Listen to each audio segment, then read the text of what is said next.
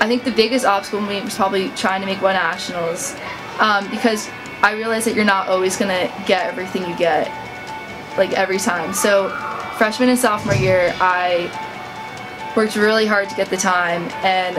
um, I started off like coming to practice more and doing dry land more and freshman year I had my headset and going to the going to the meet. I thought I was gonna go and every single race I kept getting closer and closer to this one time and then at the last meet I was so close but it wasn't there and it was probably the most heartbreaking thing just because I worked so hard that entire year and just to not get that one time I was devastated. The next year I came back in the pool, forgot about what happened the year before, kept training as hard as I could and eventually in January sophomore year I made the time and got to go to Y Nationals for the first time and it was probably the best, most successful swimming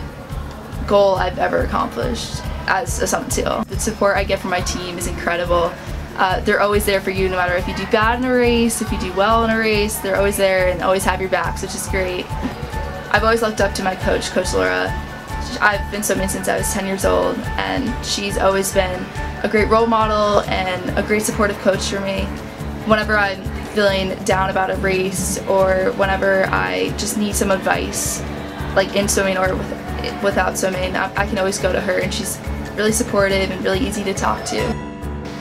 I'm really surprised about the confidence I've achieved here through setting goals for myself and through working to achieve these goals no matter the circumstances and it's really just helped me gain the confidence and respect for myself that I've always wanted to achieve.